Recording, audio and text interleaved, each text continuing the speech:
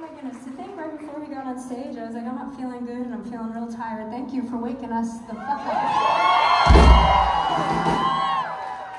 Now, I hope this next song